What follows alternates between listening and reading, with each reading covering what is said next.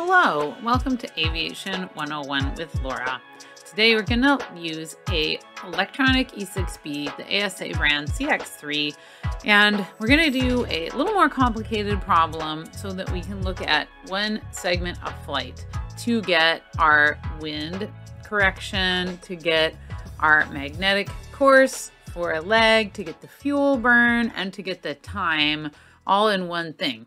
Now, I'm not going to unpack how to get all those pieces of information together, like how to find the magnetic variation in an area. I'm not going to talk about that, but I'm going to talk about this as if you have all these inputs.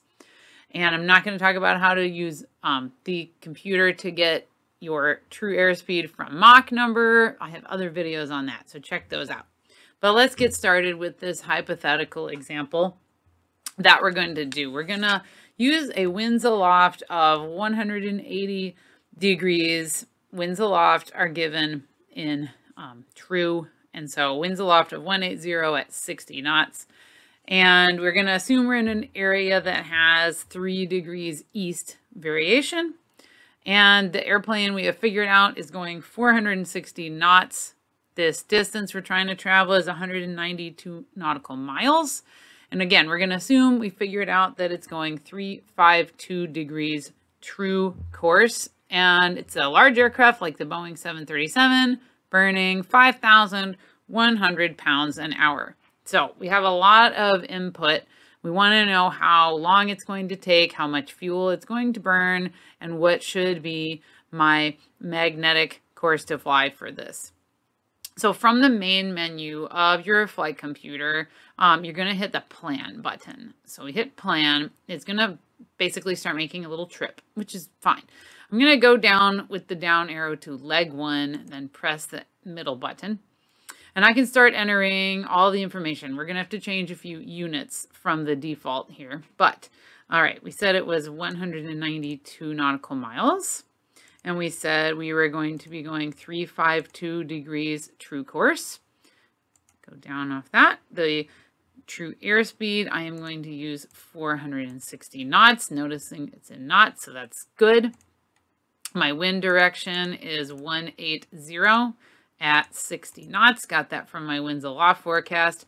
Like I mentioned, the variation we're going to use is 3 degrees east. So this is something to notice on these ASA computers, it's, it's not obvious. For any east variation, you have to press the plus minus key to make a negative 3. So if it's a west variation, you don't do the negative. If it's east, you do the negative. Okay, deviation. I am not worried about the deviation of my Boeing 737 for aircraft dispatch planning. Do not worry about that. We'll just leave that blank. The fuel rate, here is where it says gallons per hour. Mm -mm, I don't want that. I want pounds per hour. So I'm going to click the convert unit button until I get LPH for pounds per hour. And we're going to enter that the airplane is burning 5,100 pounds per hour. Hypothetical, rough for the Boeing 737-300. All right, great. So at this point, I can hit the equals I'm going to just leave out the time of departure in UTC. I, I could put that, but I don't really care at this point. So this is awesome. We get a ground speed of 519.34 knots. Does that make sense? I do want to always check. Well, it does make sense because my tail is almost entirely a tailwind. If I'm going 352, I'm going north, slightly northwest, and the wind is from 180, so it's pushing me along. My true airspeed was 460, and my ground speed is calculated as basically 519 knots. That makes sense. It's faster than my true airspeed. I have a tailwind. Don't worry about the compass heading. That would be if we had deviation. Do not worry for aircraft dispatch purposes. My magnetic heading to fly is going to be 348. Slight wind correction in there. True heading it gives me. The wind correction angle is only negative one degree. Okay, and another information I want is my fuel burn, and there it is, 1,885.47 pounds for that part. I'm going to enter that in my flight plan as 1,886. Always just round up to the nearest pound of fuel. And I have an estimated time en route given to me of 22 minutes and 10 seconds.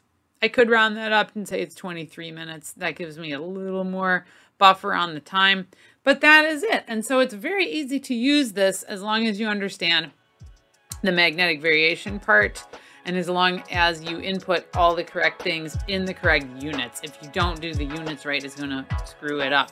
But I think this is a great computer. Check it out. Check out my other videos that I have provided on how to get, for example, your true airspeed from Mach number and a lot of other awesome content from Aviation 101 with Laura. Have a great day.